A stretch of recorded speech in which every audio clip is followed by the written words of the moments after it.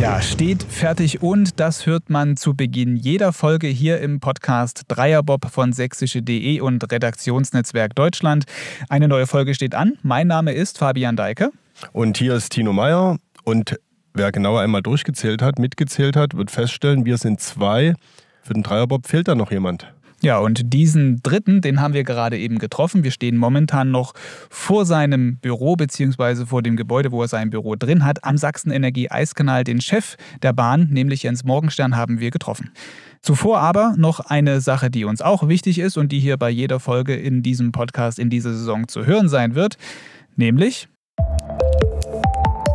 dieser Podcast wird präsentiert von Sachsenenergie und das trifft sich insofern heute ganz gut, weil wir auch uns am Sachsenenergie-Eiskanal in Altenberg befinden. Ja, das stimmt. Wir freuen uns sehr über diese Zusammenarbeit, über diese Partnerschaft, die Unterstützung. Was uns ebenso wichtig ist, die Inhalte dieses Podcasts bleiben natürlich davon unberührt. Genau, und um Inhalte geht es jetzt auch, denn wir sind nicht ohne Grund von Dresden, wo wir ja normalerweise uns aufhalten. Wo ähm, wir unsere Dreierbob-Garage haben, unser Headquarter.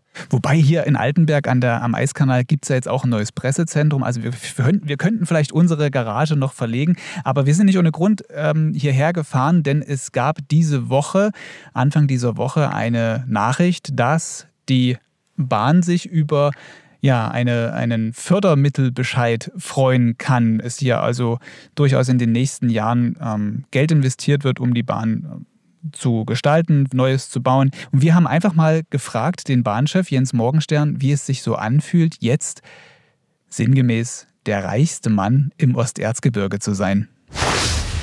Ja, und jetzt sitzen wir zusammen mit Jens Morgenstern, dem Chef an der Bobbahn in Altenberg. Und man muss dazu sagen, Du bist, haben wir gehört, jetzt der reichste Mann im Osterzgebirge. Äh, ja, wäre schön, ist leider nicht so. Ähm, die Anspielung geht natürlich auf die Übergabe des Schecks gestern von der äh, Staatsregierung Sachsen. Äh, die ist aber leider nicht an mich gegangen, sondern an den Landrat, das heißt an den Landkreis als Besitzer der Bahn für die infrastrukturelle Erneuerung in den nächsten Jahren. Auch wenn ich das Geld bekommen hätte, äh, Privatnutzung wäre gleich ausgeschlossen. Wir, äh, wir, reden immerhin über stattliche 15,4 Millionen. Das sind ja Summen auch an äh, Fördergeldern, die werden in diesen Tagen nicht alltäglich ausgezahlt. Eine stolze Summe. Was, was wird mit dem Geld hier an der Bahn geschehen? Ja, als erstes muss man natürlich sagen, wir sind absolut dankbar, dass der Freistaat äh, diese, diesen Weg, den wir eingeschlagen haben, vor drei Jahren mitgegangen ist, die Konzeption äh, wirklich als gut und richtig empfunden hat. Und als zweites äh, geht natürlich auch ein Dank an den Landkreis. Das sind ja nicht nur die 15,4 Millionen, sondern der Landkreis legt ja nochmal äh, knapp 4 Millionen drauf als Eigenanteil. Und damit werden dann eben eine ganze Menge Dinge äh, umgestaltet, äh, vorrangig der gesamte Bereich Bobstadt, die wir in der Konzeption von vor drei Jahren dargestellt haben, die, die notwendig sind. Äh, infrastrukturell war das ja hier doch weit hinter den normalen Standards hinterher und deshalb sind wir sehr froh und dankbar, dass wir diese Förderung bekommen haben. Es wird, du hast den Startbereich angesprochen, ne? es soll eine Einlaufstrecke äh, geben für die äh, Bobpiloten und Anschieber. Wenn, wer hier äh, öfter mal bei Rennen zugegen ist oder auch beim Training, wird das ja schon vielleicht gesehen haben. Da wird sich ja auf dem Parkplatz mehr oder weniger zwischen parkenden Transportern eingelaufen. Also du hast gerade selber gesagt, ne, das ist nicht so der ganz internationale, moderne Standard. Also es soll eine Einlaufstrecke geben, dann äh, sicherlich auch Tribünen oder was, was konkret wird da im Startbereich entstehen? Ja, das ist ja nur ein Punkt, die Warmlaufstrecke der Athleten. Das ist ja nicht nur, dass die zwischen den Autos äh, sich warm laufen, sondern auch, wenn es eben Mistwetter ist, in Schnee und Matsch. Also der Bobstartbereich, der oben, der wird komplett auf links gezogen. Das heißt, äh, der Bahnkörper bleibt natürlich bestehen. Ansonsten alles, was ringsrum ist, äh, umkleiden. Das ist ja jetzt ein Konglomerat für Männer und Frauen zusammen. Es gibt keine gescheiten sanitären Einrichtungen. Also auch da oben muss sich der Athlet mit dem Zuschauer um die Toilettennutzung prügeln. Äh, das sind alles Dinge, die, die gehen so heutzutage nicht mehr. Ne? Die gingen auch schon vor Jahren nicht mehr, aber jetzt haben wir eben die Möglichkeit, das umzugestalten.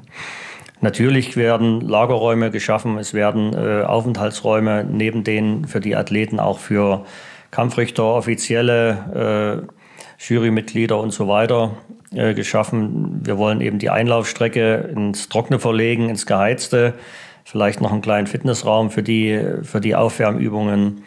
Ja, der Parkplatz wird erweitert. Also das wird ein völlig neues Gesicht bekommen. Äh, ein paar Basics werden stehen bleiben. Also den, den Rodel-Stallstart, der ist natürlich Kult, der muss stehen bleiben. Ne? Der wird ja fürs Sommerrodeltraining auch noch genutzt. Äh, aber ansonsten wird dort nicht viel übrig bleiben, wie es jetzt ist. Ist auch eine Garage für den Dreierbob vorgesehen? Na, die ist ja hier schon sowieso seit ein paar Jahren äh, ständig Usus. Also wenn der Dreierbob hier kommt, kriegt er seine Garage natürlich geheizt mit Kühlschrank für gekühlte Getränke. Also das ist schon Standard sind wir auf jeden Fall schon mal beruhigt. Aber äh, vielleicht nochmal, du hattest das schon beschrieben, wer den Podcast jetzt vielleicht gerade zum ersten Mal hört, der ist jetzt ein bisschen in das Thema reingestolpert. Wir sind in den vergangenen Jahren schon immer ein bis zweimal hier oben an der Bahn gewesen und haben genau über diese Projekte gesprochen, die, da, du beschrieben hast, was alles aufgebaut und äh, verändert wird. Ähm, das läuft jetzt seit drei Jahren, sagtest du. Ganz konkret, was sind denn so vielleicht Meilensteine, die erreicht worden sind schon in den letzten Jahren und wo es hingehen soll mit der Bahn? Nein, die Konzeption habe ich geschrieben, äh, das ist jetzt genau drei Jahre her. Äh, den ersten Block konnten wir dieses Jahr, also jetzt im Herbst, äh, übergeben bekommen. Das war natürlich die letzte Fertigstellung des Pressehauses. Im letzten Jahr sind schon fertig geworden. Das waren eben Projekte in Richtung WM Rennrodel, die wir 24 im Januar hatten. Äh, der Komplettumbau Wiegehaus mit neuem Anbau, auch dort mit Sanitäreinrichtung. Äh, das war vorher so, dass ein Toilettencontainer aufgestellt wurde. Beim Sommertraining gab es überhaupt keine Möglichkeit, mal eine Toilette zu nutzen. Mit Aufenthaltsräumen, mit äh, neuer Catering-Location, mit Tribünenerweiterung. Es ist ein Materialkontrollraum dazugekommen. Wie gesagt, das Pressehaus, das war ja auch äh, schon seit drei Jahren nicht mehr nutzbar, weil es eben einsturzgefährdet war durch Wasserschäden. Äh, Übergänge sind gebaut worden, die nicht mehr nutzbar waren oder nur als Provisorium dastanden. Überdachungen. Also da ist eine ganze Menge passiert in den letzten beiden Jahren. Und das ist jetzt eben der Anschluss für die nächsten Jahre. Das soll dann in dem Bereich 27 bis 32 äh, stattfinden, wo dann eben der nächste große Schub Richtung Infrastruktur äh, am Sachsen-Energie-Eiskanal gemacht wird. Hm, und jetzt gibt es halt diese 15,4 Millionen Euro Fördergeld. Wie werden die geplant? Also gibt es das jetzt das Geld auf einmal und ihr plant jetzt die nächsten Projekte los oder wird es dann in dem einen Jahr äh, diesen Bereich geben und dann gibt es das Geld oder liegt das jetzt da? Liegt das jetzt hier irgendwo in einem Tresor und du holst es raus, wenn du es brauchst? Oder wie funktioniert das? Also wie gesagt, das liegt natürlich nicht bei uns in der Portokasse oder in einem Tresor, sondern im Landratsamt. Äh, aber ich denke, da wird es auch nicht physisch äh, mit vielen, vielen Scheinen und Münzen liegen, sondern, äh, wie du schon angesprochen hast, ähm, es wird Planungen geben, die wir mit dem, oder andersrum, die das Landratsamt mit uns abspricht, weil das Landratsamt als Besitzer ist ja Bauherr. Das ist ja nicht die VIA. Ähm, und da werden wir Stück für Stück äh, unsere Planungen, die jetzt schon im Groben liegen, verfeinern. Es wird jedes Jahr ein Stück dazukommen. Äh, wie gesagt, um, die Umgestaltung des Bobstadt ist ein Riesenprojekt. Das werden wir nicht in einem Sommer schaffen, weil im Winter kann man hier schlecht bauen, wenn Bahnbetrieb ist. Und deshalb werden das, werden das noch ganz viele Gespräche sein. Es werden Planungsschritte vorangehen müssen. Deshalb eben können wir jetzt nicht sofort anfangen, sondern es geht eben 27 los. Und so ist die Grobstruktur der weiteren äh, arbeiten hier.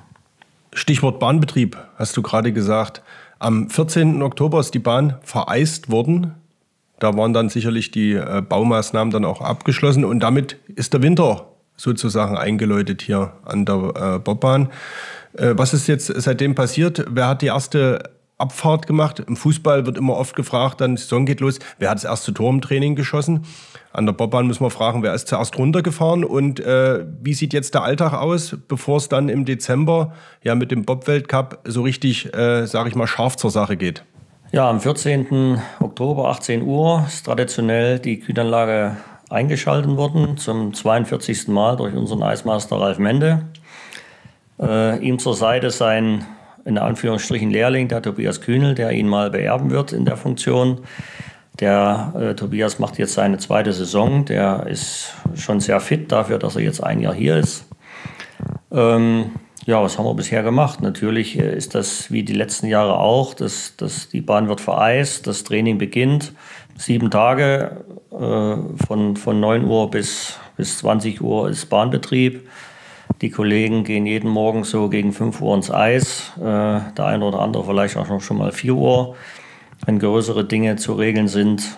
Ja, und dann sind die verschiedenen Nutzer hier. Wir hatten als erstes die Nationalmannschaft Skeleton, die auch hier ihre deutschen Meisterschaften gefahren haben und noch zwei Ausscheide. Die haben dann auch hier ihr Weltcup-Team nominiert.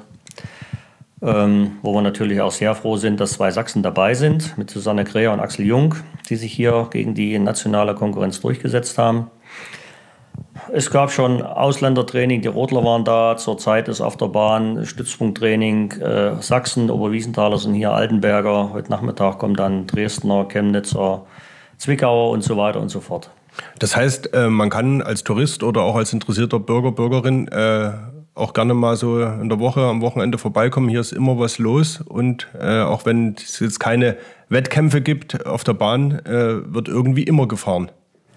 Es ist immer was los. Wie gesagt, der, der Bahnplan ist knackevoll. Unser Bahnkoordinator Datino Klein hat äh, sehr gut geplant, sehr viel geplant.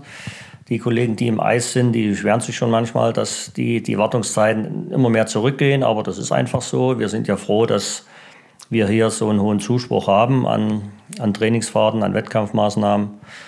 Ja, nochmal zurück zur ersten Fahrt. Das war der Tizian Gran Coniolo, ein Rodler, Nachwuchsrodler aus Chemnitz, der in Oberwiesenthal trainiert. Der durfte hier die erste Fahrt machen, hat er auch erfolgreich äh, beendet. Äh, ist ja immer eine gute Geschichte. Die, die Rodler testen mal so ein bisschen, wie das Eis ist, ne? dass die Kollegen, die im Eis arbeiten, auch vielleicht die letzten Feinheiten noch nacharbeiten können. Hat wunderbar funktioniert, Technik steht, ja, sind wir sehr zufrieden bisher. Ich kann mich erinnern, vergangenes Jahr, als wir bei der Jahresauftaktpressekonferenz hier waren, dieses Jahr tut uns leid, haben wir das leider verpasst, weil wir beide nicht da waren.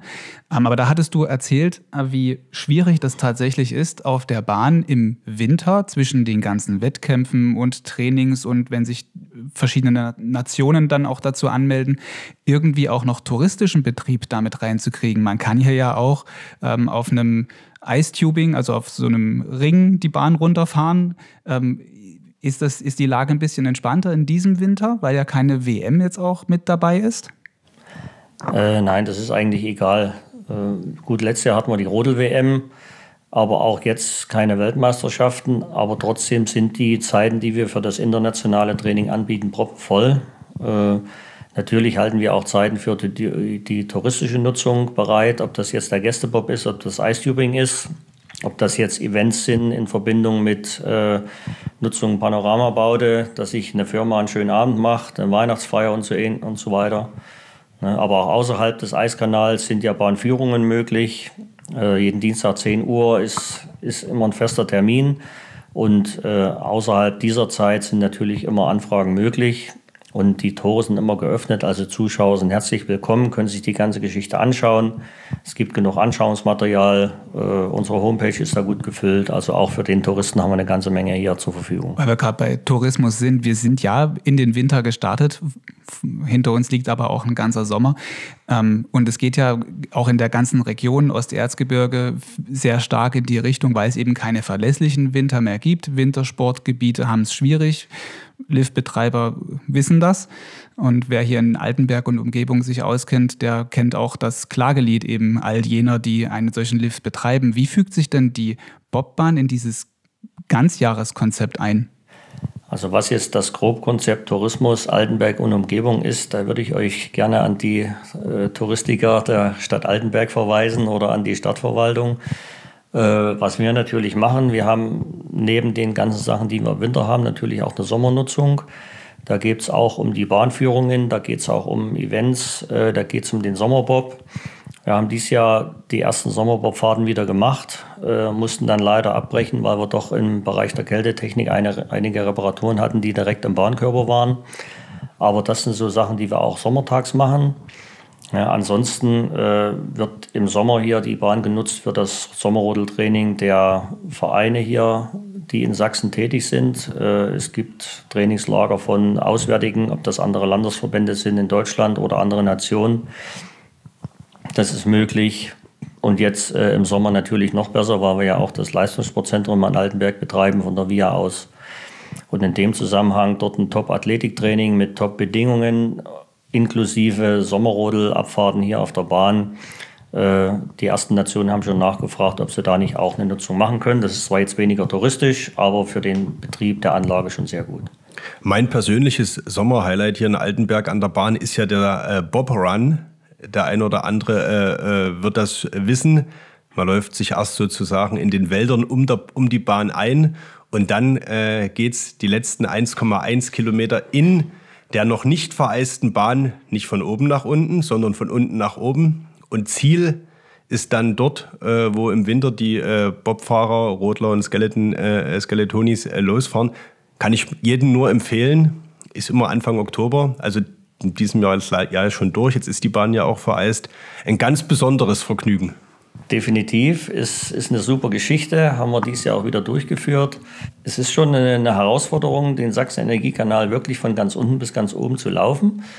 1,4 äh, Kilometer, 120 Höhenmeter. Ist eine Energieleistung. Auf relativ kurzer Strecke, also das muss man mögen. Und es gibt wirklich Leute, die mögen das und äh, die machen das auch jedes Jahr wieder. Ist eine, eine schöne Veranstaltung, ja. Also ich habe es tatsächlich einmal gemacht, ist zwei Jahre her und ich spüre jetzt noch meine Waden. da kommen wir mal zu denen, die von oben nach unten fahren äh, und das auf Kufen. Äh, wir hatten es gerade schon angesprochen, der Winter ist äh, sozusagen hier losgegangen, auch wenn wir gerade aus dem Fenster gucken und die äh, Sonne scheint und ist Tatsache auch äh, Ende Oktober schon wieder zweistellige äh, Grade gab. Wir haben ja schon die, das Thema Energie auch angesprochen. Es wurde ja auch etwas später vereist. Ne? Das ist ja auch äh, Teil des Konzeptes, dass man nicht mehr so, dass die Bobfahrer äh, auch später die Saison beginnen. In diesem Jahr geht sie los am 1. Dezember-Wochenende. Gleich mit dem Weltcup hier in Altenberg, ist das so ein bisschen so ein, äh, so ein Auftakt nach Maß, gleich eine Top-Veranstaltung mit einer, mit einer äh, ähm, gewissen Breitenwirkung äh, damit in den sage ich mal, Wettkampfwinter zu starten? Ja, Anfang Dezember war eigentlich selten, aber im Dezember hatten wir auch schon Weltcups. Das ist jetzt nicht was ganz Neues. Ähm, wir, wir sprechen ja jedes Jahr mit den internationalen Verbänden die Saisons durch. Ähm, meistens die nächste. Jetzt sind wir schon so weit, dass wir auch die übernächste haben. Nein, da freuen wir uns drauf. Äh, schöne Geschichte. Anfang Dezember. Wir hoffen, dass das Wetter halbwegs mitspielt. Nicht, dass wir hier wieder Schmuddelwetter und Nieselregen und sowas haben. Vielleicht auch mal, wie es jetzt ist, ein Sonnenstrahl dabei. Äh, das wäre ja auch schön für die Bilder, die nach außen gehen. Das sind natürlich die Weltcups mit TV-Relevanz immer wunderschöne Dinge, die wir hier am Sachsen-Energie-Eiskanal ausrichten. Wie gesagt, wir freuen uns da schon drauf. Äh, ist ja der erste Weltcup der Bobsportler. Die Skeletoni äh, schießen sich in, in Asien schon mal ein. Da fahren die Bobfahrer aber nicht hin. Deshalb ist der Saisonauftakt Bob hier bei uns ja, da freuen wir uns drauf. Wird wieder eine gute Veranstaltung. Wie entsteht eigentlich so ein Rennkalender? Meldet ihr als Bahninhaber, Bahnanbieter, Veranstalter, sagt ihr Wunschtermine und der Weltverband guckt dann mal, wie es so passt? Oder wie, wie, wie entsteht der Wettkampfkalender? So, sowohl als auch. Also es kommt der internationale Verband auf uns zu und sagt, du, wie sieht es bei dir aus in der und der oder der Woche?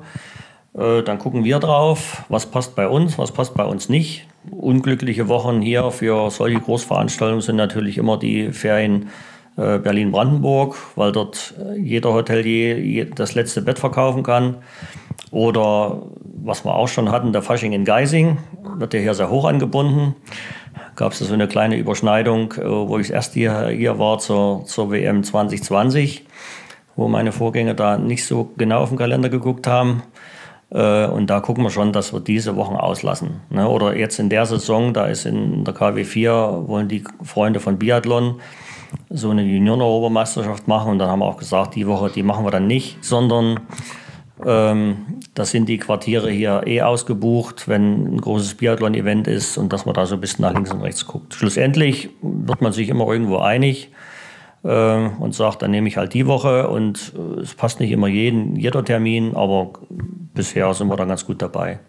Ich springe noch mal ganz kurz weg von dem Weltcup-Start, weil du das Stichwort Biathlon gesagt mhm. hast. Ist ja hier auch wichtig in Altenberg, ist ja auch ein Stützpunkt. Wie läuft die Zusammenarbeit eigentlich mit ähm, Biathlon hier vor Ort und auch mit anderen Sportarten, die ja hier zu Hause sind? Na, die Zusammenarbeit hat sich ja wesentlich intensiviert seit diesem Jahr, seit wir das Leistungssportzentrum auch betreiben in Altenberg, das neu gebaut worden ist, wurde ja dieses Jahr offiziell eröffnet. Äh, und da wird ja auch Biathlon und Mountainbike mit betreut. Die haben dort auch ihre Werkstätten, Lager, Trainingsmöglichkeiten, Büros und so weiter und so fort. Nö, das ist schon sehr intensiv geworden. Äh, man blickt auch mal ein bisschen über den Tellerrand hinaus, was die Sportfreunde so für Sorgen und Nöte haben, was die für Anforderungen haben. Und ich denke mal, das wird sich in den nächsten Jahren weiterhin äh, intensivieren, dass auch die Sportarten natürlich in die, in die große Geschichte hier Stützpunkt nicht nur eingebunden werden, sie sind es ja schon großteils, aber eben auch mehr an Bedeutung äh, erlangen. Was kann sich ein Bahnchef bei einem Biathleten oder bei Biathlon abgucken? Wir können uns vielleicht abgucken, wie ist denn dort die Struktur? Wie bauen die ihre Wettkämpfe auf? Äh, wie ist bei denen die, die Trainingsgruppeneinteilung? Wie wird vom Verband die, die Kadernominierung und so weiter äh, verfolgt? Ne? Und, und das sind alles so Sachen, wo man einfach mal ein bisschen schauen kann, wie macht das jemand anders? Und eine Kleinigkeit kann man sich immer rausnehmen. Zurück in die Bahn. Die Klammer vom Biathlon zum Bob äh, fällt mir spontan ein, könnte Michael Rösch sein, der ja äh, uns mehr oder weniger mitgegeben hat, ne, dass wir mal eine Fahrt beim Francesco Friedrich arrangieren sollen. Bei uns im Dreierbob wird er auf jeden Fall wieder Platz nehmen in dieser Saison. Das kann man schon mal vorausblicken. Genau. Am 1. Dezember-Wochenende geht's los. Hast du auch einen, einen, sportlichen Blick auf die Dinge? Äh, du hast die Nominierung im, im, im Skeleton schon angesprochen. Bist du da auch äh, dran interessiert, wer da in den Teams steht? Oder sagst du, ich stelle hier eine Bahn hin und gucke, äh, dass am Ende alle zufrieden und glücklich äh, sind und der Beste möge gewinnen? Könnte ich machen. Würde ich vielleicht ruhiger leben. Mache ich aber nicht, weil ich ja nur selber Athlet und Trainer war viele Jahre. Äh, und natürlich, was auch für uns ganz wichtig ist, ähm, wir gucken ja vollumfänglich, was hier diesen Stützpunkt ausmacht. Und da geht es ja nicht nur darum, dass wir eine Bahn haben, die im guten Zustand ist und gute Veranstaltungen macht und gutes Training zulässt, sondern äh, so ein Stützpunkt ist ja wirklich nur so stark, wie, man, wie es immer so schön heißt, wie sein schwächstes Glied. Und deshalb gucken wir natürlich auch, wie wir die sächsischen Athletinnen und Athleten unterstützen können, äh, was die für Bedarfe haben, äh, weil wir wollen ja auch, dass ganz viele Bundeskader, egal in welchem Altersbereich, aus Sachsen kommen. Je mehr kommen, umso sicherer ist der Stützpunkt. Wenn die nicht mehr da sind, brauchen wir auch die Bahn nicht mehr und brauchen also das LSZA nicht mehr. Also das ist ein ganz wesentlicher Punkt. Das geht aber allen Sportarten so. Da schließe ich die Biathleten und Mountainbiker mit ein. Alle müssen liefern, alle müssen Bundeskader produzieren, damit wir hier einen sicheren Stützpunkt haben, dass auch die Sportstätten weiterhin gesichert sind. Liefern ist ein Stichpunkt, äh, harter äh, Break jetzt. Äh, die, die Bahn stand äh, Ende des letzten Winters unter Kritik beim Thema Sicherheit. Und es hieß so, na, jetzt müsst ihr liefern. Deswegen ist so für, für mich das, äh, äh, das Stichwort. Was ist über den Sommer passiert? Also, um das nochmal ganz kurz zusammenzufassen, es gab ja zwei Trainingsstürze im, im Februar vor dem Bob-Weltcup. Der Schweizer Bob von äh, Michael Vogt ist gestürzt und Johannes Lochner äh, bei dem, beim Vierertraining. Äh, beim Schweizer hat sich der Anschieber äh, schwer verletzt. Danach ist viel diskutiert worden über das Thema Sicherheit. Äh, Piloten und Anschieber haben sich zusammengeschlossen und haben das Thema versucht nach vorne zu treiben, haben versucht, den Weltverband damit in die, äh, vor allen Dingen auch in die Pflicht zu nehmen. Es ist über Kevlon-Westen diskutiert worden und äh, über viele andere Dinge. Und dann war Sommerpause. Jetzt geht's wieder los. Was äh, ist da über den Sommer passiert? Inwieweit äh, bist du, seid ihr als Bahn in Altenberg da auch integriert gewesen und gibt es da einen neuen Stand? Kann man, gibt es jetzt neue Sicherheitsmaßnahmen? Ist da im Sommer was passiert? Ja, das ist ja ein sehr breites Feld. Das lässt sich auch jetzt nicht in zwei Sätzen beantworten. Wir haben äh, Zeit. Sehr gut. ich nehme ja auch die Zeit. Ähm, ja, es ist ja dann nach diesem Unfall äh, gab es ja die die Forderung von dem einen oder anderen Athleten, äh, ihr müsst den Schlitten einfach auffangen, dann ist alles gut. Das ist aber eine grundsätzlich falsche Herangehensweise. Die springt viel zu kurz, das funktioniert so nicht. Es sollte ja nach der Saison in der IBSF eine Kommission oder was auch immer Sicherheit ins Leben gerufen werden. Es gab nach der Saison einen sogenannten runden Tisch. Der hat genau einmal getagt mit, wie soll man sagen, es waren ein paar Dinge, die rausgearbeitet wurden, äh, die aber jetzt nicht revolutionär waren. Wir hätten dort gerne mit teilgenommen, äh, wurden aber von der IBSF abgelehnt. Die IBSF ist der Weltverband, noch kurz. Ist der als, Weltverband hm. für Bob und Skeleton, genau. Ja. Ähm, daraufhin haben wir uns hier committed und haben eigene Sicherheitskonferenzen durchgeführt und die aber nicht äh, sich darum äh, gedreht haben, dass man nur die Folgen äh, verhindern kann, sondern die sich darum gedreht haben, diesen Sport vollumfänglich mal zu betrachten. Vielleicht vorgeschaltet zum Kongress der IBSF äh, hatte die IBSF selber einen Antrag eingebracht, dass, die, dass das Thema Sicherheit in die Bahnbaukommission verlagert werden soll. Diesem Vorschlag würde ich nie zustimmen, weil dann ist die ganze Verantwortung bei den Bahnen. Und der Schweizer Verband hatte aber einen Antrag eingebracht, dass es eine generelle Sicherheitskommission bei der IBSF geben soll. Den fand ich schon besser.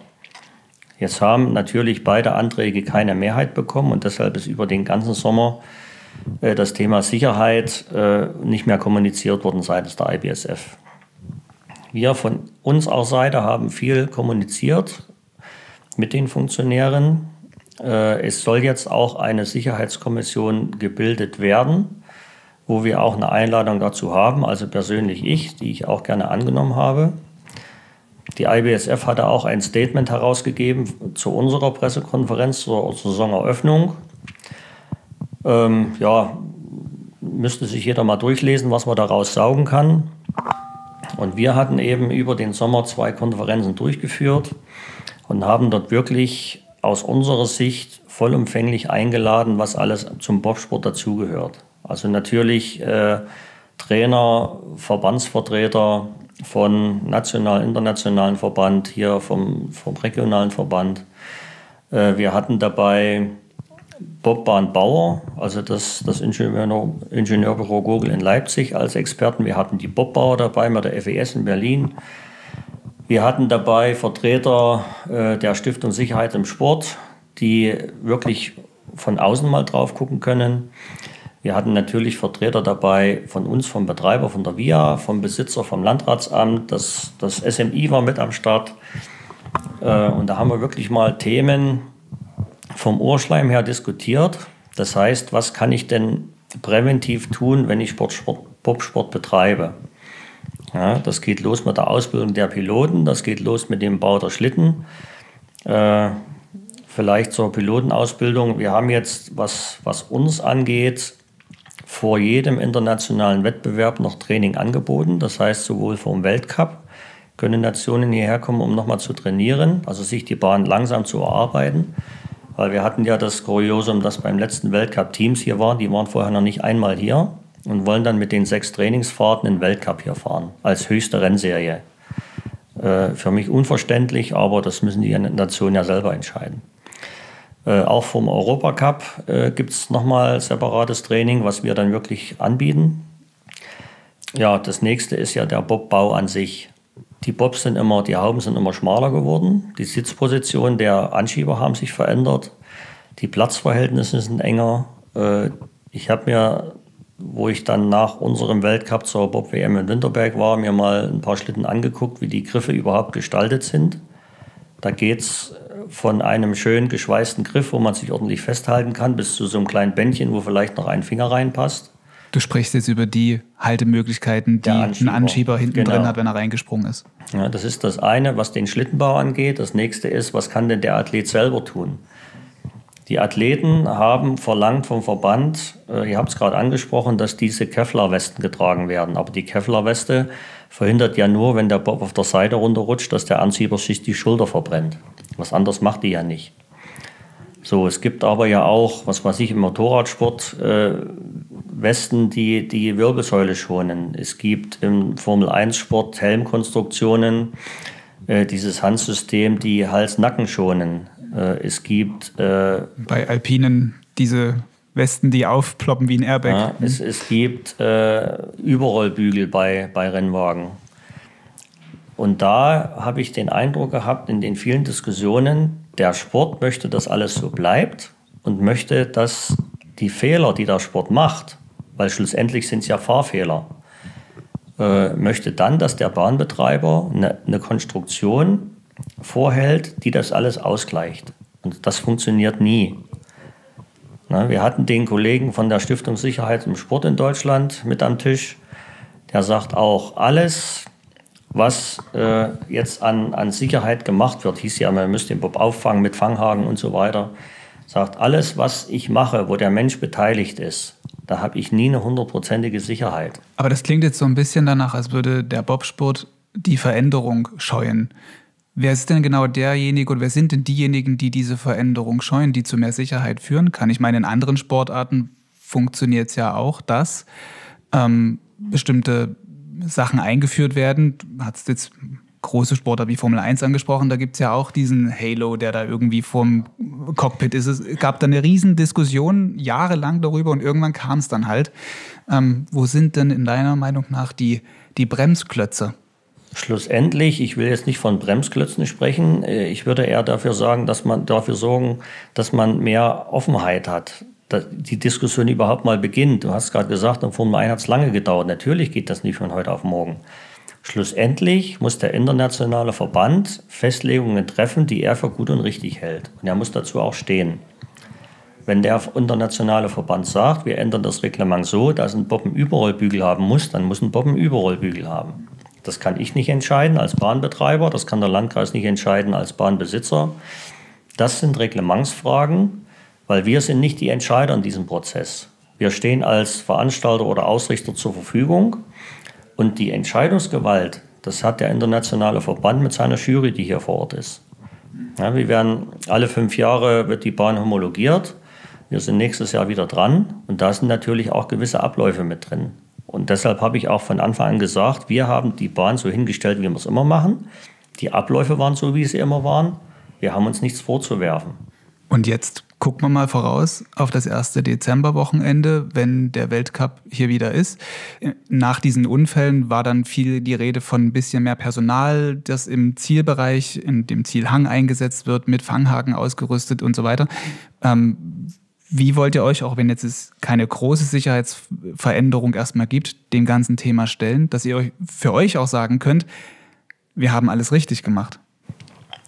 Also das Erste hatte ich ja vorhin schon ange angedeutet, wir werden vor den Rennen Training anbieten. Also es steht jedem frei, ja nicht nur vor dem Weltcup, sondern auch jetzt in der Phase zu sagen, okay, ich fahre mal eine Woche nach Altenberg und trainiere. Äh, die Rodler machen das genauso. Die waren letzte Woche da, die werden nächste Woche wieder da sein, auch internationale. Dass eben sich die Bahn wirklich systematisch erfahren werden kann. Das ist eine anspruchsvolle Strecke hier, da haben wir einen Hehl draus gemacht, das ist so. Und ich brauche hier vielleicht mehr Trainingsfahrten und auch von geringeren Starthöhen als zum Beispiel in Innsbruck. Da geht es relativ einfach, dass ich die Bahn drin habe. Ja, das ist das eine. Das zweite ist, wir haben baulich einige Veränderungen vorgenommen, was jetzt Überdachungen angeht. Das heißt, die Überfahrt 13, 14 hat ein Dach bekommen, die Einfahrt 15 hat ein Dach bekommen, dass dort eben durch Witterungseinflüsse die Profilierung nicht, nicht, nicht leiden kann. Ähm, das ist ja auch immer so eine Gratwanderung. Das Fernsehen sagt, ihr müsst alles aufmachen. Ihr wisst selber, wie das Wetter war letztes Jahr Weihnachten. Da war ständig Regen, da war ständig Mistwetter. Da kann ich ein Profil nicht so top halten, wie es sonst immer ist. Und wenn das Fernsehen sagt, ihr müsst die Segel aufmachen, sagen wir eben jetzt, nee, wir lassen die einfach zu. Und damit ist Ende. Ja. Äh, wir werden versuchen, mehr Personal zu akquirieren, aber da bin ich wieder bei meinem Satz von vor zwei Minuten. Mehr Personal ist nicht gleich, alles ist gut. Und mehr Personal heißt auch nicht, dass in der dem Bereich Kurve 17, Kurve 18 den Schlitten aufgehalten werden kann. Das ist das, wo ich sage, wir sagen das, was wir können. Und ich sage aber auch ganz deutlich, was wir nicht können. Und dort kann kein Schlitten aufgehalten werden. Und da kann ein Athlet dreimal sagen, ihr müsst die aufhalten, es geht dort einfach nicht. Das ist so steil, das funktioniert nicht. Und deshalb wird genau dort die Variante greifen wie in den letzten 40 Jahren. Der Schlitten pendelt aus, die Athleten steigen aus. Wir werden sehr viel Aufklärung betreiben. Wir werden sowohl in den Mannschaftsführersitzungen äh, als auch Aushänge machen, was wir können und was wir nicht können. Ne, ich habe auch letztes Jahr erfahren, dass die Amerikaner zum Beispiel die Anschieber so briefen, äh, wenn der Schlitten stürzt, ihr müsst so schnell wie möglich raus. Das ist kompletter Quatsch. Der Sportler muss drin bleiben, bis der Schlitten hält. Das ist die, die sicherste Variante. Hm. Das Auspendeln das Auspendeln. Mhm. Ne? Und dass der Sportler nicht äh, aktiv aussteigt und sich da vielleicht verletzt. Mhm. Ne? Das wird nicht passieren. Wie ist so die Stimmung in Athletenkreisen? Hat äh, Altenberg, sage ich mal, vom Image her jetzt einen Kratzer bekommen oder ist das nach wie vor eine Bahn, vor der man einen gesunden Respekt hat, aber die jeder auch irgendwo fahren will, weil es eben das Mekka des Bobsports ist, so wie jede andere äh, Sportart. Äh, in der Formel 1 gibt es in Monaco den Stadtkurs, der irgendwo Kult ist, in, beim Ski Alpin äh, die Kandahar-Abfahrt oder Kitzbühel, wo man sagt, das sind mitunter brutal schwere Abfahrten, aber die will ich einfach machen, weil sie in meinem Sport einfach äh, legendär sind. Wie, wie ist jetzt das Image von Altenberg? Das ist eine gute Frage. Gefühlsmäßig her würde ich sagen, der Großteil der Athleten sieht das so. Er sagt, Altenberg ist schwierig, aber es ist geil. Wenn ich da runterfahre, das ist nicht so wischiwaschi, sondern da muss ich wirklich, wie man schön sagt, die Zunge gerade ins Maul nehmen und muss gucken, dass ich wirklich die Lenkpunkte erwische, äh, dass ich nicht überpace, was ja auch die nächste Geschichte ist. Wenn ich Kampflinie fahre als Bobfahrer, gehe ich irgendwann übers Limit hinaus und dann fällt der Bob einfach um. Das ist so. Na? Und es wird einen kleinen Teil geben, was man auch in den sozialen Medien jetzt im Frühjahr gehört hat und auch jetzt nochmal im Herbst, äh, wo das nochmal aufgeploppt ist, äh, die sagen, ja, da muss man was machen und die Bahn muss das regeln, ich als Athlet muss nichts machen. Und das ist eine Geschichte, das sage ich auch ganz deutlich, da wäre ich mich entschieden dagegen, weil das einfach falsch ist. Das stimmt so nicht. Äh, ich habe jetzt mal so einen Spruch gehört, man muss die Athleten auch vor sich selber schützen. Und da ist ganz viel Wahrheit drin. Wir merken schon, das Thema wird ein, ein, ein Dauerthema bleiben. Es ist vor allen Dingen kein Altenberger Thema. Ne? Das haben wir, glaube ich, auch im Februar schon gesagt. Und ich glaube, an der Stelle macht man sich auch zu einfach wenn man jetzt irgendwie auf Altenberg zeigt und sagt, ihr müsst es regeln, weil, und das gehört zur Wahrheit dazu, dass Stürze im Bobsport, im Rennsport dazugehören, das ist das eine. Und zum anderen, dass eben solche Unfälle, äh, mitunter manchmal auch mit äh, tragischem Ausgang, auch aller Orten passieren und auch immer wieder auf anderen Bahnen passiert äh, sind in der Vergangenheit, dann aber in Deutschland eben nicht so intensiv diskutiert wurden, weil es eben mancher auch gar nicht mitbekommen hat. Wir wollen das Thema nicht kleinreden, wir werden da als Dreierbob auch dranbleiben, wollen aber jetzt nochmal einen sportlichen Blick auf die Saison werfen, weil, äh, Jens, du hast es angesprochen, 40 Jahre Bobbahn Altenberg ist ja eigentlich eine Erfolgsgeschichte. Äh, Was erwartest du in dieser Saison? Es ist äh, diesmal keine WM, da sind wir ja in den vergangenen Jahren äh, doch einigermaßen verwöhnt äh, gewesen. Die Bobfahrer sind, äh, da schließt sich der Kreis zu den WMs in Altenberg, sind im Februar, im März äh, 2025, also in dieser Saison als Saisonhöhepunkt in Lake Placid. Und das ist sozusagen die in Anführungsstrichen ausgefallene WM 2021, ne, die Altenberg damals ersatzmäßig inmitten der Corona-Pandemie, der eine oder andere wird sich erinnern, das gab es auch mal, äh, eingesprungen ist. Da ist dann in Altenberg nach 2020 zum zweiten Mal in Folge ähm, um WM-Titel gefahren worden, weil eben der Bob- und Skeleton-Tross nicht nach Amerika konnte. Und deswegen jetzt in diesem Jahr 2025 WM in Lake Placid. Aber was passiert noch in Altenberg? Ja, es passiert noch eine ganze Menge. Vielleicht noch ein Schlusssatz, Schlusssatz äh, zum, zum Thema Sicherheit. Ähm, wie du schon sagst, das ist ein globales Thema. Das geht nicht nur Altenberg was an. Und hier müssen wirklich grundlegende Dinge verändert werden, vor allem präventiv, weil das hilft allen Bahnen. Das hilft auch Whistler, das hilft Lake Placid, das hilft Winterberg, allen. Aber das nur noch mal am Rande. Äh, ja, wir haben, sind ein bisschen WM verwöhnt in den letzten fünf Jahren, drei Weltmeisterschaften. Das gab es, glaube ich, noch nie. Wird es auch nicht so schnell wieder geben. Das waren hervorragende Events des Sports. Sowohl die 2020er mit vollem Haus, was Zuschauer angeht, mit Top-Stimmung. Äh, das Jahr später Corona, äh, null Zuschauer, trotzdem gute Stimmung. die Bilder, die rausgegangen sind, waren top und, und eben auch jetzt in der letzten Saison, Anfang Januar, die Rodel-WM. Das war eine super geile Veranstaltung. Äh, es gab ja schon erste Stimmen, die nach der 23er WM in Oberhof gesagt haben, sowas kann man nicht toppen. Ich will jetzt nicht sagen, dass wir es groß getoppt haben, aber wir waren mindestens gleichwertig. Manche sagen, wir waren noch ein Stück drüber. Äh, da waren wir sehr zufrieden, wie das gelaufen ist.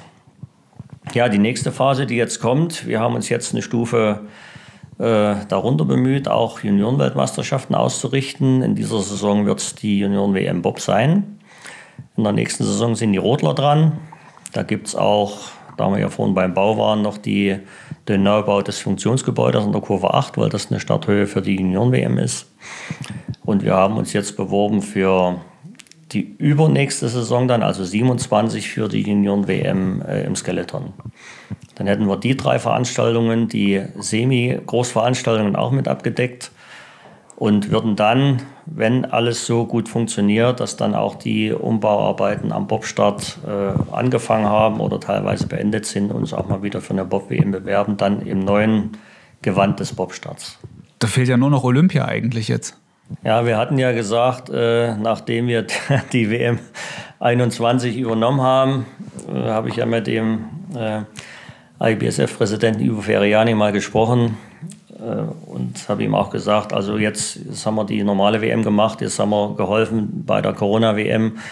Und wenn er mal einen Ausrichter für Olympia braucht, kann er gerne anrufen, ist kein Problem, machen wir auch noch. Nein, es gab ja viele Diskussionen, äh, was jetzt mit Cortina ist, aber ich denke, die bekommen das hin. Das ist auch gut und richtig, dass die Kufensportarten auch in Italien stattfinden. Ja, wir werden mal schauen. Äh, Wenn es mal eine Bewerbung für Olympische Spiele gibt, äh, in Deutschland, in Sachsen oder wie auch immer, ich werde es vielleicht hier als Bahnchef nicht mehr erleben, aber vielleicht haben wir ja die Chance, nochmal den Kufensport olympisch nach, nach Deutschland zu bringen. Werden wir mal schauen. Nee, aber so vermessen sind wir jetzt nicht, um zu sagen, dass wir hier in Altenberg äh, erste Wahl Olympische Spiele ist. Äh, die nächsten sind ja schon vergeben. Und ja, wir werden mal schauen, wie sich das weiterentwickelt, ne? Olympia generell. Genau, dazu kann man sagen, äh, du hast den, den Bob Bahnbau in Cortina angesprochen. Das ist ja ein sehr ehrgeiziger Plan. Ne? Die Bahn soll im März 2025 soweit fertig sein. Und nach dem, was man in der vergangenen Woche gehört hat, sind die Italiener äh, äh, ja auch voll im Zeitplan. Die Bahn wird jetzt wohl über den Winter eingehaust, sodass man da auch an der, äh, am Beton und an der Kältetechnik weiterbauen kann, den ganzen Winter. Also es sind alle Beteiligten jetzt vielleicht nicht äh, die vom IOC, die stehen dem ganzen Projekt ja etwas kritisch gegenüber, aber in Italien und auch bei den äh, äh, Kufenfachverbänden sind alle optimistisch dass das klappt. Und das hast du gesagt, es ist ja auch ganz im Sinne der Sportler. Ne? Denn als äh, Alternativen werden diskutiert Innsbruck, das kann man sich vielleicht noch vorstellen. St. Moritz, da hätte man das Thema äh, Kunst, äh, Natureisbahn. Äh, ist die denn überhaupt dann auch, äh, kann man für Chancengleichheit Ende Februar sorgen, wenn da Sonneneinstrahlung ist? Oder, und das halte ich ja für die verwegenste Idee, äh, Lake Placid. Und das muss man sich mal vorstellen, Olympische Spiele 2026, alle Wintersportler sind in Mailand und Cortina und die Kufensportler fahren in Lake Placid. Also eine wirklich abgefahrene, verrückte Idee. Insofern äh, drücken wir mal die Daumen, dass das in Cortina alles so klappt. Und ein bisschen Puffer ist ja auch, muss ja erst allerspätestens im Herbst 25 so weit sein, dass da auch erste Trainingsfahrten gemacht werden kann, damit dann im Februar 26 dort auch wieder um olympisches Edelmetall gefahren werden kann. Wollte ich nur noch mal mit ansprechen, Olympia, weil wir befinden uns im vorolympischen Winter. Dir vielen Dank für das Gespräch und deine Zeit hier im Podcast, Jens Morgenstern. Ja, ich bedanke mich und freue mich, wenn der Dreierbob wieder hier in Altenberg Station macht. Vielen Dank. Ja, das also Bahnchef Jens Morgenstern hier am Sachsenenergie Eiskanal. Da war viel drin in diesem Gespräch. Also besonders vielleicht mal um es kurz noch zu sortieren, bevor wir dann auch gleich rausgehen aus dieser Folge. Was ich wirklich besonders fand, bemerkenswert, war dieser ganze Schlussbereich, dieses Schlussthema mit dem ähm, Sicherheitsthema. Ja, man merkt, da haben die Diskussionen, äh, wenn überhaupt, gerade erst begonnen. Hm. Da ist noch ganz viel äh, aufzuarbeiten, zu besprechen und vor allen Dingen, das haben wir, glaube ich, gerade alle festgestellt, ist das ein sehr, sehr vielschichtiges Thema wo ganz viele äh, Seiten miteinander reden müssen und miteinander auch Lösungen finden müssen, statt, äh, sage ich mal, gegenseitig mit dem Finger aufeinander zu zeigen, weil da kommt man keinen Schritt mhm. weiter. Was ich mitnehme aus dem Gespräch ist aber, dass es ja durchaus, ähm, das muss man jetzt, finde ich, der Bahn hier zugute halten, dass da ja hier ein Schritt nach vorne gegangen worden ist und es ja dann, das hat er nicht so deutlich gesagt, ja woanders gebremst wird oder dass ein bisschen vorsichtiger ähm, dieser Veränderungswille angegangen wird. Also das Gefühl habe ich ehrlicherweise auch, auch schon über den Sommer gehabt, äh, dass sich äh, der Weltverband es sich ja schon irgendwo gemütlich macht und äh, sich da irgendwie nett einrichtet und versucht, äh, ja, die Verantwortung bei anderen. Und da will ich gar nicht sagen, nur bei den Bahnbetreibern, sondern einfach bei anderen und nicht bei sich vordergründig zu sehen. Ich glaube, das wird ein Thema auch wirklich bleiben. Und wie wir aber äh, wissen aus vielerlei anderer Sportarten und äh, gesellschaftlichen Bereichen, ist das mit Verbänden immer so eine Sache, mit Weltverbänden. Das sind äh, mitunter ja auch schwierige Konglomerate. Nun wollen wir nicht mit dem Finger auf den Weltverband zeigen und sagen, äh, dort muss jetzt was passieren. Nee, nee, wir bleiben schon dabei, was wir gesagt haben. Es ist eine Sache von vielen die miteinander ins Gespräch kommen müssen. Und ins Gespräch kommen ist auch insofern für uns jetzt vielleicht am Ende dieser Folge ein gutes Stichwort. Wir suchen uns nämlich für ja, die, die nächsten Folgen hier noch weitere Gesprächsgäste, Gesprächspartner. Themen gibt es auf jeden Fall genug, denn die Wintersportsaison ist gerade erst am, am Losrutschen, wenn man so will. Ich blicke da nur in Richtung Alpin. Da gab es ja auch am Wochenende in Sölden den Auftakt. Und da gab es auch sehr, sehr viel Gesprächsbedarf. Vielleicht sortieren wir das noch ganz kurz ein, denn dort starten mittlerweile auch Niederländer und Brasilianer, was es vorher noch nicht so gab. Ja, da im alpinen Ski-Zirkus kann man ja fast wirklich jetzt schon sagen, da ist ganz schön Bewegung. Vor allen Dingen ist eine gewisse Internationalität eingezogen. Es ist ein Brasilianer am Start ein, ein, ein, ein äh, Niederländer, äh, die aber äh, ja eigentlich Norweger und Österreicher sind und nicht irgendwelche. Lukas Braten, der Norweger, ein äh, begnadeter Skifahrer, ein, ein Superstar seiner Szene, hat sich mit seinem äh, heimischen Verband verkracht, mit den Norwegern, startet jetzt für das Heimatland seiner Mutter, Brasilien. Und äh, das ist die eine Geschichte und die andere, das ist die von Marcel Hirscher. Den Namen wird der eine oder andere doch schon gehört haben. Ein Skidominator in den vergangenen Jahren, ein wirklicher Superstar in Österreich, hatte seine Karriere beendet. Äh, und ich glaube, nach 2000, über 2000 Tagen hat er dann sein Comeback jetzt gegeben. Und das für die Niederlande. Und das für die Niederlande. Das Land seiner Mutter. Genau. Und was ich auch dort wieder interessant fand, war, ähm, wie sich so ja, Debatten oder Diskussionen dann auch gerne mal verschieben. In den vergangenen Jahren, wenn ich mich an, wenn ich so an den Saisonstart der Alpinen denke, ging es immer so um, äh, hat es denn Sinn, schon Mitte, Ende Oktober einen Weltcup zu veranstalten? Dieses Jahr hatte ich den Eindruck, hat darüber gar keiner groß gesprochen. Da ging es nur darum, äh, ging es nur um dieses eine Thema. Ja, da merkt man wieder, am Ende sind es die Menschen, die für den Gesprächsstoff sorgen und für den meisten Gesprächsstoff. Und so wollen wir es auch halten. Deswegen sind äh, wir ein Dreierbob, zwei Moderatoren und äh, wie gesagt, mindestens immer ein Gesprächsgast. So wird es auch in dieser Saison unserer sechsten sein und wir freuen uns, dass es jetzt mit dem Winter so richtig losgeht. Genau, mehr verraten wir an der Stelle noch nicht. Wer hier das nächste Mal im Dreierbob mit drin sitzen wird. Vielleicht wird es dann auch ein Dreier-Ski sein. Mal gucken. Wir, wir verraten das an dieser Stelle noch nicht. Ähm, bleiben Sie gespannt. Bis zur nächsten Folge hier im Dreierbob. Tschüss. Tschüss.